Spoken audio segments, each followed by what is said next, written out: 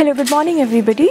Um, welcome to the talk on Bayesian network modeling and uh, using Python and R.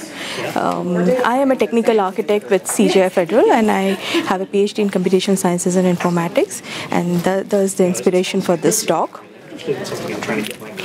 Let's look at the agenda. The agenda involves looking at the applications of Bayesian network and uh, looking at how it was derived from Bayes' law and the theories of Bayesian network.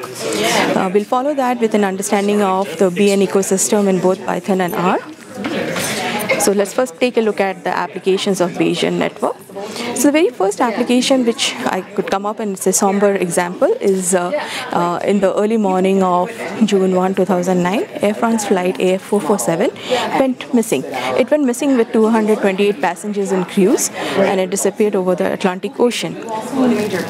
They tried multiple techniques and they could not uh, uh figure out the location of the debris of the flight, but later on they decided they should look try, try to use uh, Bayesian network modeling, and as part of that, they realized it works. Uh, it worked successfully for them, and this is the model that was used for it. Um, as you can see, there's mention of posterior and prior in this chart, but um, don't worry about it right now. We'll cover that later. We um, but as you can see, it's a, it involves multiple parameters on which the prior and posteriors has been taken. So they learned from whatever efforts did not work and they um, tried to use it to their advantage in making the prediction.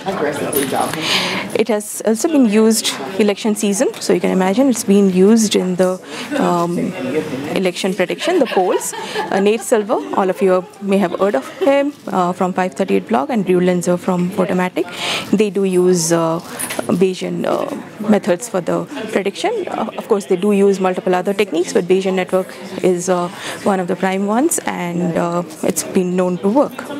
Some of the other applications are your Office products, uh, Microsoft Office products, Office Assist, which you use for asking questions and learning more about the product. That uses Bayesian modeling. And the other applications are like uh, discovering the relations between genes the environment and the disease propagation for a given population. That's where Bayesian modeling is being used, as well as like for in the astronomy uh, field, uh, particularly solar science, where they're trying to predict the um, solar flare predictions. Like as you know, the so sun is dynamic and it has these solar flares which occur from time to time, being able to predict that. So from this you would get an idea that there are varied fields and domains where Bayesian network is being used and can be used. Um, so if you have a problem, going forward, uh, hopefully this particular talk will give you an introduction to Bayesian network. And when you have a problem to solve, you will think and try to analyze if Bayesian modeling makes sense to use as part of your particular problem or not. So let's look at some of the Python and R uh, packages which deal with Bayesian network modeling. Those are the names. Uh, we will look into a few of them as examples after I've had a chance to explain what Bayesian network modeling is all about.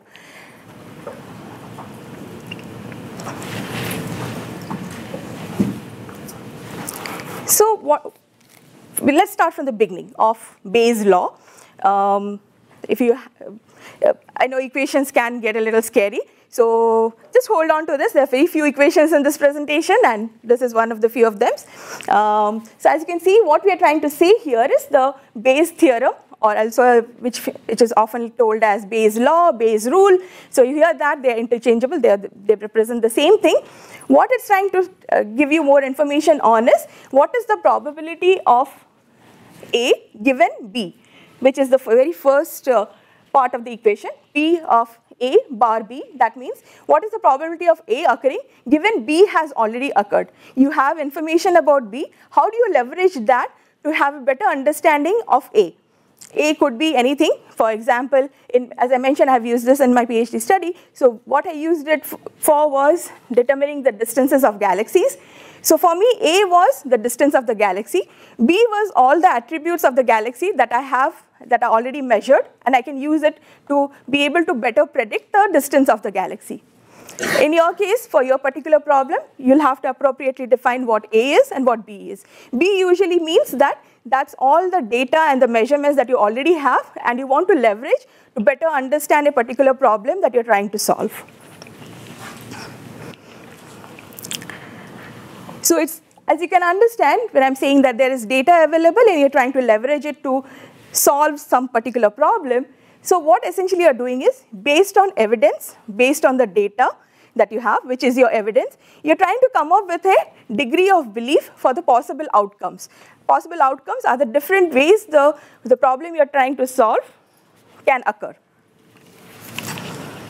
So going back to my example, it could be that the outcomes are is the distance of the galaxy of um, redshift 0.1 or is it 0.2 or 0.3. So the, those are the possible outcomes and I'm getting, as after applying Bayesian networks, I get an understanding of what is the, how much can I believe from the data that I have if the distance of the galaxy is 0.1 or if the distance is 0.2 or 0.3. So I get specific numbers for that. And this is Thomas Bayes, who had come up with the Bayes law. Um, it's very interesting how he came up with the law. Uh, actually, he was not credited for it when he was alive. It became more popular posthumously. So if you're interested in history of mathematics, uh, I would definitely encourage you to go check it out and learn more about him and the way the Bayes law came about to be. So again, going, trying to put it in a more graphical format, what I've been telling about data, evidence, and coming up with a degree of belief for the outcomes. It's that your evidence which also the term used for it is prior. As you remember in the first slide when I was talking about the Air France, that there were certain prior posterior. So the terms could become a little more clear here. So your evidence is your prior. It represents the belief or the likelihood, which is used for prediction or coming up with a posterior probability, which represents your potential outcomes. So hopefully this chart gives a little bit more clarity in case you are not from probability and statistics background, but this should give a better idea of what, what is prior, what is likelihood, and what is posterior. Because the, these three terms keep coming up often when you're working with Bayesian networks. Now, specifying a prior probability can be tricky. Why? Because it is a subjective element. If you have data and you're very sure the data measurements are all good, then oh, well and good, you can use that. But quite often, it is a subjective element where the person applying the algorithm has to make a decision as to these are the probabilities that I want to go with for the data that I already have or the elements that I'm trying to use to come up with the outcomes. So that becomes subjective and it can lead to a lot of uh, confusion, a lot of controversy over there because your findings are as you can see, your posterior or your prediction is based on your evidence of the prior. So if your prior is incorrect, of course your prediction will be incorrect. We all know that. Your prediction is as good as the data that you have. So when it comes to Bayesian network modeling, your prior probability is important. It's important to get it as correct as possible, but that should not prevent you from getting started with the exercise of applying this. This prob problem of uh, specifying the prior probability is also known as the reference class problem. So if you want to look that up, you'll get some interesting anecdotes and examples where it has been an issue.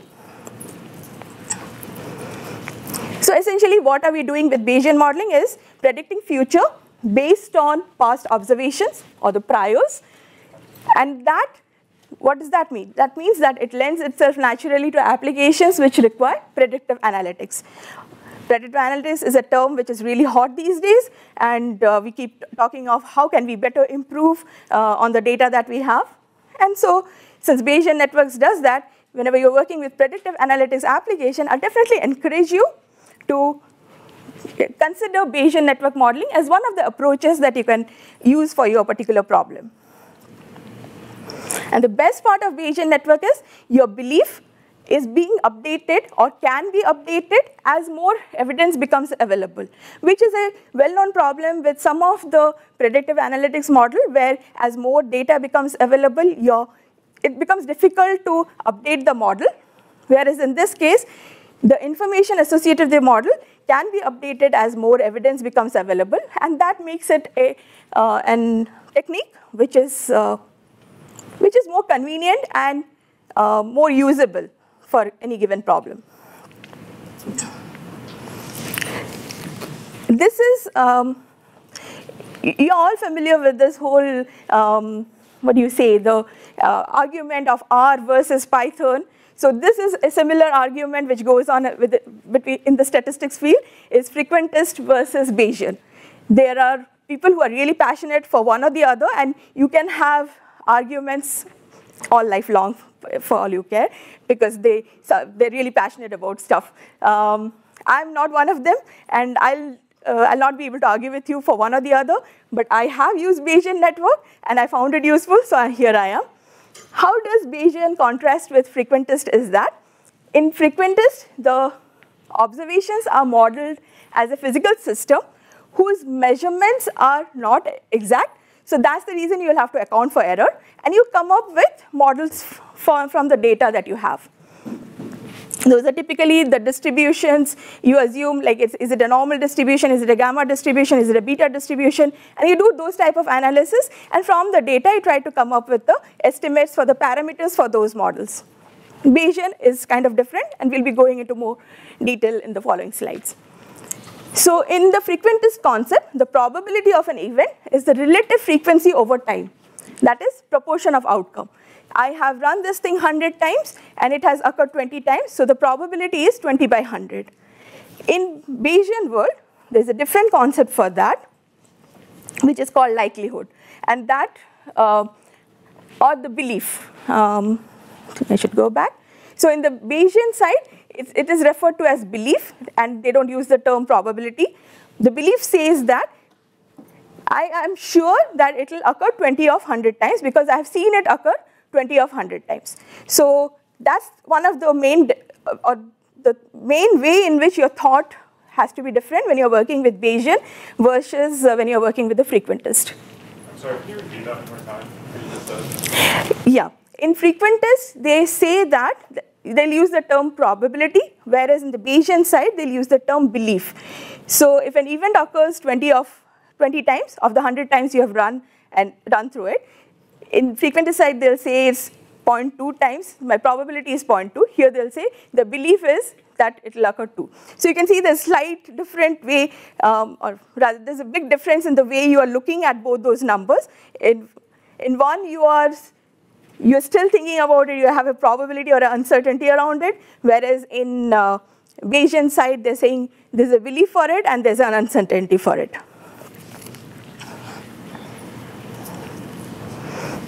So the first equation uh, must be looking familiar, it's the Bayes law. So we're trying to understand again what is the posterior prior from that. Excuse me. So over there you can see, um, if we re rewrite the equation a little bit differently, it comes out in the second format over here, not the uh, white, uh, white uh, image over there, but the one right below it. So as you can see, and then that's termed as probability of A given B, that is you're, you're trying to formulate your problem saying that I want to figure out what is the probability of something occurring given that I have this information, that's called posterior. And the other uh, block is there, and the prior. And this particular piece is called support of B for A.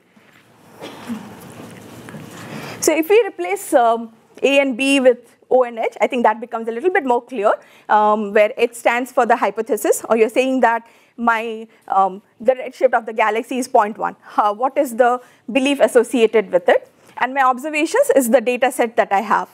So just reformulating that whole equation by replacing A with um, H and B with O, you get that equation.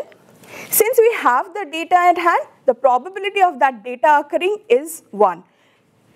That's the reason you can remove it from that whole equation and it comes down to this particular line over here, which means that your posterior is equal to likelihood into prior. Okay, I think this was one of the last slides with equations. Let's uh, move on and get into more on how we actually run uh, Bayesian network analysis in R and Python. This is the example. Um, this is the, the x-axis corresponds to predicted value and the y-axis says what's the confidence of the predicted value. So I ran a Bayesian network modeling on my problem, and this is the information that I got. As you can see, the probable, uh, sorry, I, sh I, should use the term belief or confidence instead of probability. Um, so for the different predicted values, what is the confidence associated with them, and I have charted that. So you, you could, what you would want to, as a very simplistic application is go for the one with the maximum probability because you think that that's most likely to occur. And that's often called the most probable a posteriori or map value. But you could use this information in multiple ways. You could average out the highest values, or you could take a subset of values and say these are the four, five values which are most likely to occur. So that's up to you, and you can um, that increases the complexity of your analysis and solution. And so that was Bayes' law. Now let's move on to Bayesian belief network. This is based on the Bayes' law, where we saw that there was a relationship between the observation and the hypothesis. In the Bayesian belief network, gives a whole graphical look and feel to the whole problem and your solution. It was pioneered by Judea Pearl um, 2011 ACM Turing Award winner. So what these graphical models of the information that you have or the model that has been generated by your Bayesian network represents it. Each of the node represents a variable in your data set and the, no, uh, and the arcs or the connections, they represent if there is a relationship between those two attributes or not. So for example, in this particular one, star is my, uh, whatever is my target or whatever I'm trying to estimate. So I'm seeing that that is dependent only on the GR attribute or the column in my data set. I can safely, based on my Bayesian modeling, I can safely ignore these three attributes. Now you would think that this becomes very simple for the target that I'm having, but the, but the level of information that is included in this chart that is something very interesting in the sense that we are not just modeling the target, but we also have a model for the remaining attributes and an understanding of how the other attributes depend on other attributes, what is the relationship among them. For example, even though this model I'll use to predict my star, but if I have missing attributes in IZ, like there are, sorry, missing values, there are certain records which don't have any values in IZ, I can use this model to estimate those missing values. So I have a model which represents the entire data set that I have or the relationships of the different attributes in that data set and which can be used to better understand the relationships and the interconnections between the different attributes. Naive Bayes is another term you may have commonly used. It's a special case of the Bayesian network where we assume that the, the element that you're trying to predict, that is the parent node. And all the other, it depends on all the other features that are there in your data set. But there is no interrelationship between the other attributes. So as you can see, this is, a very, this is the most simple form of a Bayesian network. In Bayesian networks, these attributes in turn can have relationships. And there are different algorithms which will do that for you. And that increases the complexity and the kind of problems the Bayesian network can handle. You may be thinking, how does this work with numeric data? How would it um, formulate the relationships. In that, what you would do is you would come discretize your data, come up with categories for your numeric attributes. Uh, one simple way is like give ranges, saying that if my number is from 1 to 10, that's one category. It's from 10 to 20, it's another category. And the most simplest way, or you could use quantiles, which will split your data into equal buckets, and that you could use them as your categories.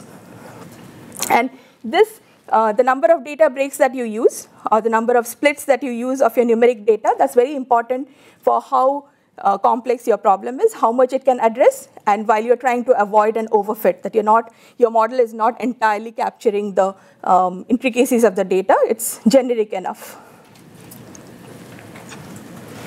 What are the different ways you could evaluate your models are. You look at the characteristics of the network, like as I was showing you the earlier chart where there was this uh, interconnection between different attributes. You can better understand your network um, of and the relationship between the attributes. Combination of multiple generated networks. Run Bayesian network multiple times on your data. Come up with multiple networks. Look at them. Which are most often, uh, which links are most often occurring. Include them. Uh, actually, the R example that uh, I'll be showing uh, that does that. So you'll get a better idea of what I mean by combination of multiple generated networks.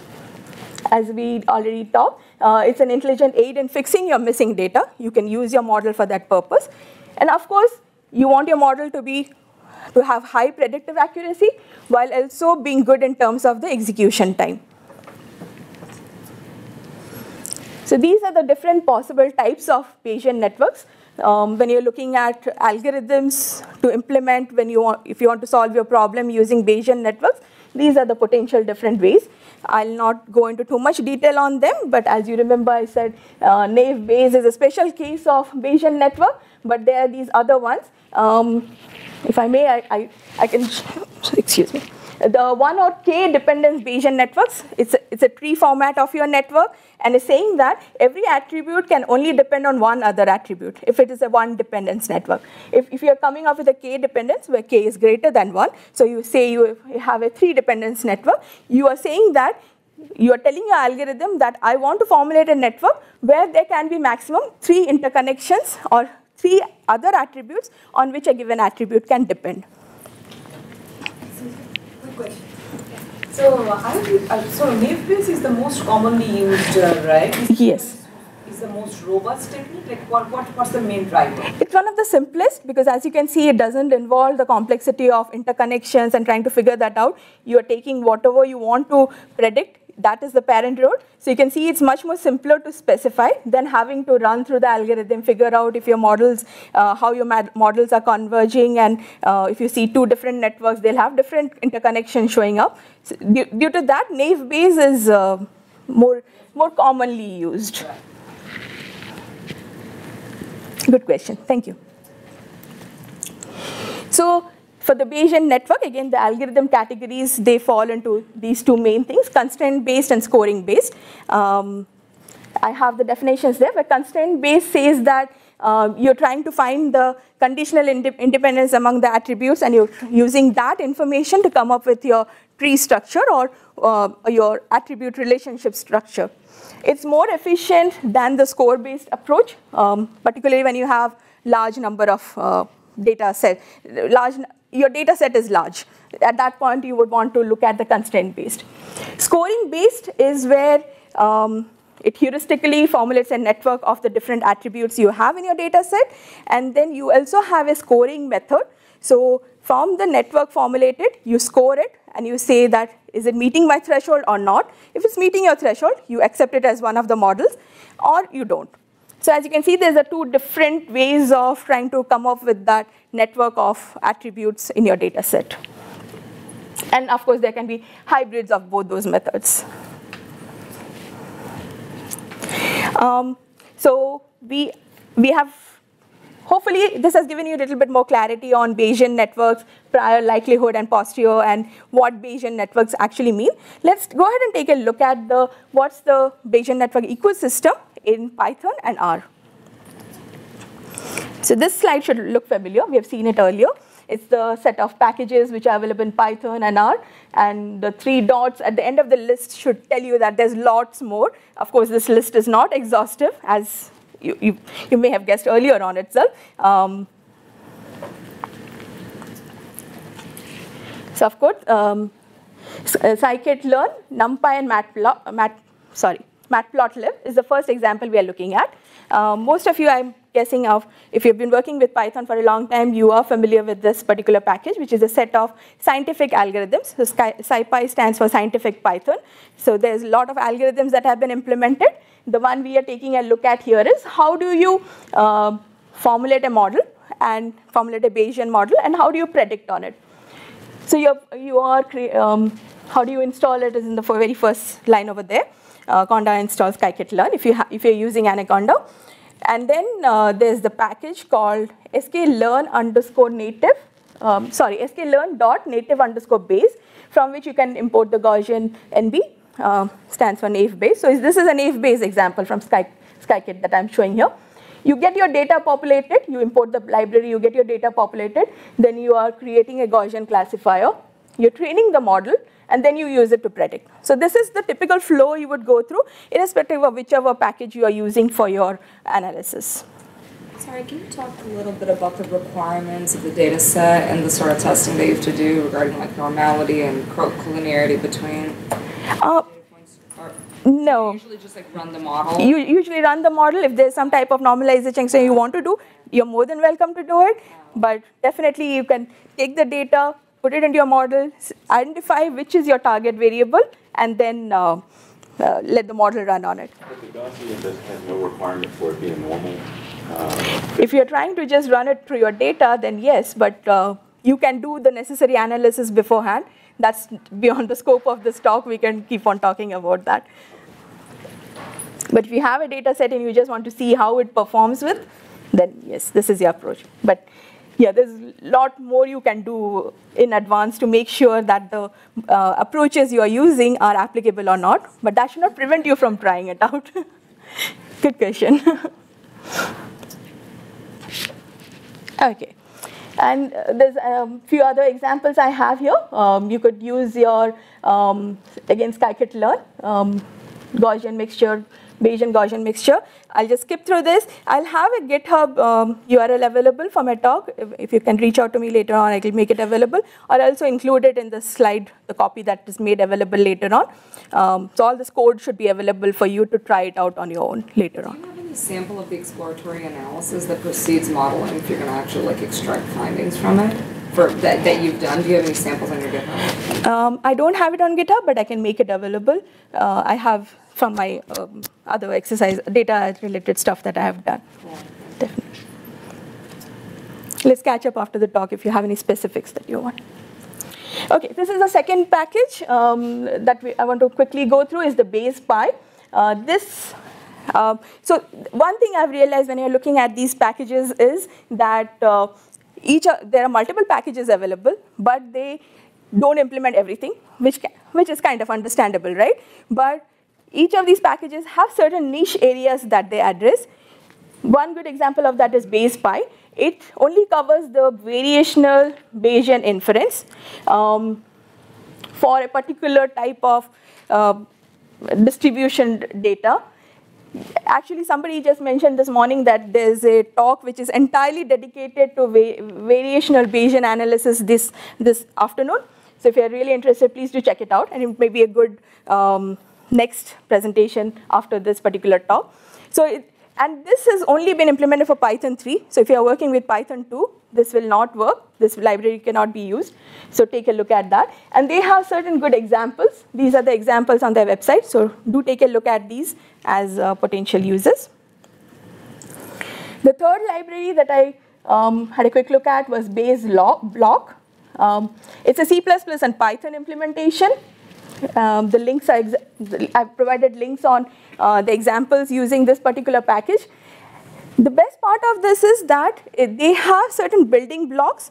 So even if you are not well acquainted with what Bayesian network analysis involves, you can look at these blocks and put them together and get it working as a Python Bayesian network application. So I thought that was really neat that they um, they have used the blocks concept and which can make it much more easier to use a particular library compared to having to um, go through each and every nitty gritty uh, steps of implementing a particular library.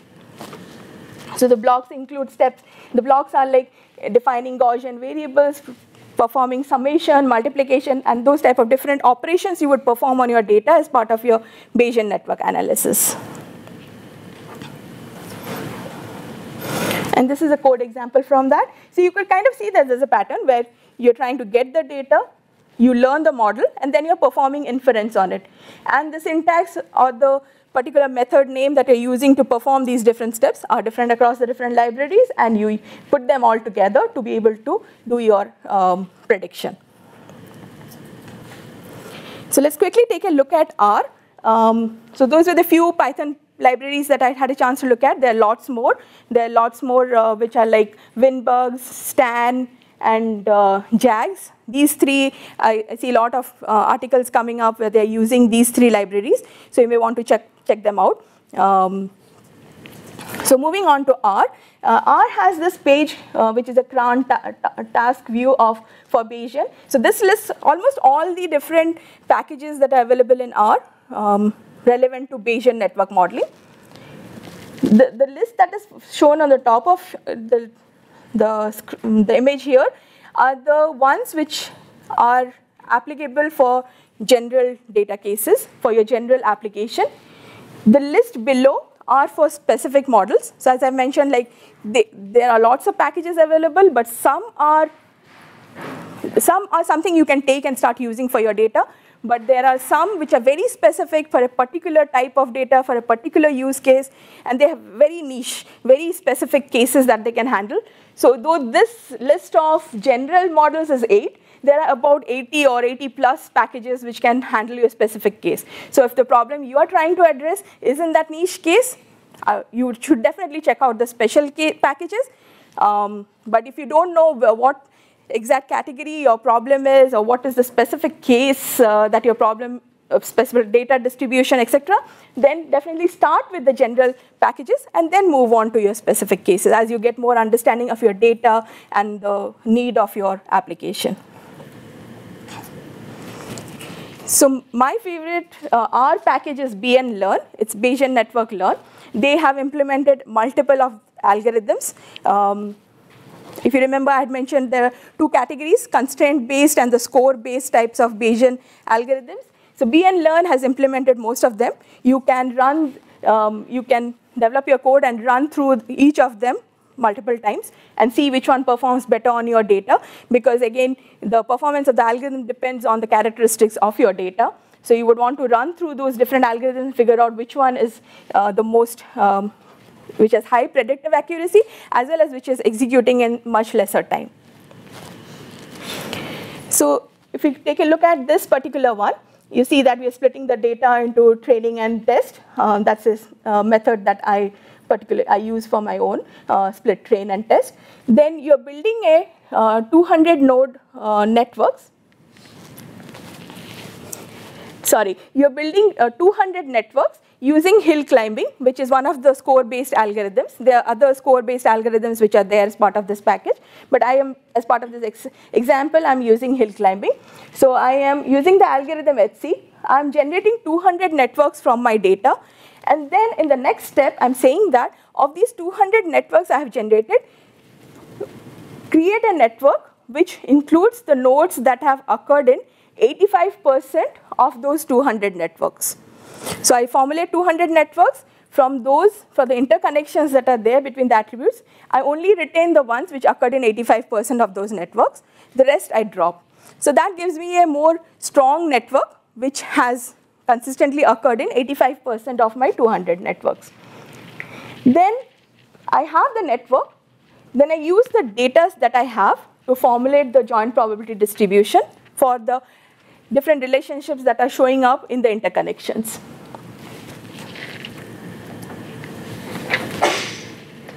And um, this one is just a uh, GraphViz package, which you can use to, um, which you can use to um, review the network that has been generated. And this is the inference phase where you have generated the model. Now you want to run it on your test data and, uh, uh, and predict, using the model, predict for the test data how, how the model is performing. So again, this should all be available in the GitHub.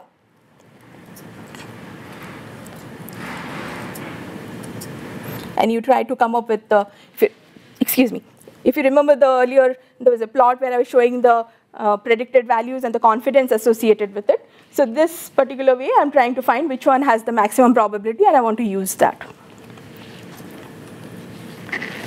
There's another package called Bayesian Network. So that gives you a more uh, graphical user inter interface to use for uh, working with the BNLearn package. If you're trying to start learning BNLearn package, go ahead and use this. This is a very new package and it has a lot of neat functionalities and helps to learn it faster and um, in a more fun way than having to run commands. And the other application is um, Stan, which I mentioned is one of the other applications. So it is available for both Python and R. So if you want to come up with something that is applicable in both Python and R, definitely give this a shot. So sharing some of my experiences is that um, before you start thinking that you can use a particular package, spend some time reviewing the documentation to understand what type of functionalities it supports and, uh, and if it actually will be applicable to your problem or not. Um, so use that. Important to be aware of the packages support for Python 2 versus Python 3. That may be your first decision point. If you, are, if you cannot change your Python version from one or the other, then that becomes a good um, attribute to use to make your decision. Um, one thing which I've heard most of my data scientist friends uh, often um, say is how they work is quickly experiment in R, implement in Python. Um, but of course, that's not universally applicable. It will be depending on your use case. Um, but definitely something you can consider. And when you're working with R, try to come up with R Shiny applications, uh, just the way the earlier screenshot where it was um, showing a GUI for learning BNLearn. That's definitely much more easier because you don't have to keep on changing your parameters and the command line and running it. Your, your GUI gives you a better way to be able to experiment all the different functionalities that are available as part of your particular package that you're experimenting. And particularly if you're trying to tune the parameters, etc. Look for existing code examples, and all of us are aware of that. Um, GitHub, CRAN, um, Google, Stack Overflow. Uh, there's some of the ways which most of us use. And of course, keep experimenting. That's the best way to learn. Um,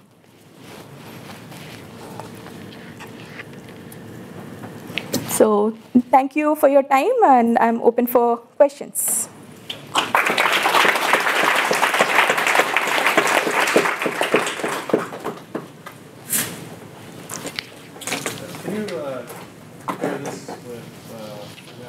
not sure about the difference between Bayesian networks and probabilistic programming. And also, should we think of this as an optimization, or should we think of it as you're trying to put in uh, like a, your data generation process? So which, which way should you think about this? Sure, the question was, uh, can I give a little bit more clarity into the difference between Bayesian modeling and the probabilistic modeling? And uh, the other question was uh, if this is a data generation or a optimization problem. So the first one, I think I covered earlier on in the talk, that uh, there are two thought processes of the statisticians. One is the probabilistic way of thinking, and the other one is the Bayesian network modeling or Bayesian uh, thought process. In uh, probabilistic model, they depend on how frequently something is occurring, and they leverage that information. No, no, my question is, there's this phrase called probabilistic programming. So is this a form of probabilistic programming? I'm not familiar with the term probabilistic programming, so I will not take a guess on that. If you want to give a little bit more detail on what do you mean by probabilistic programming, are you referring to using different uh, libraries to get a better understanding of the data? so this could be considered as a type of probabilistic programming where you are you have your data using that you try to better understand the um, the data the relationships between the attributes and uh, use that to further enhance your data as well as to be able to predict on certain things and the other thing was is it a data generation or optimization problem this is a data modeling approach this is uh, you are optimizing on it as well. You're trying to come up with a model around your data. Um, so how you would do any type of predictive analytics is, so you could use uh, Bayesian modeling as one of the approaches. It's one of the modeling techniques. So like decision trees, um, so Bayesian modeling is a type of a decision tree as well, but it, it includes much more. But I have to think about the distributions on every node that I put in, right? It's not, I can't just have You, you get that interconnection and then based on your data, you come up with the joint probability distribution. Your data is letting you come up with the joint probability distribution for a given node. Yes, are you measuring the interactions between the attributes? That's in the whole, uh, the algorithm which generates the network, where you could use uh, constraint-based or you could use uh, score-based methods if you remember this slide. So that's how the network is formulated. So there are two different approaches where, see this, this you will, you will never be able to come up with an exact solution for the data you have. It's an NP-hard problem. So you will have to come up with approximate and heuristics uh, based approaches. And these two are the two, two different ways of coming up with those approximate or heuristic solutions. One is where you um, take two attributes at a time and you, you, you have the data with you. So try to understand what is the conditional um, independence among them. If they're conditionally independent, there's no interconnection between them. Are you using something like correlation or, or not? You could use, uh, there are multiple ways in which you could, uh, you could define your correlation uh, uh, measurement. Any other questions?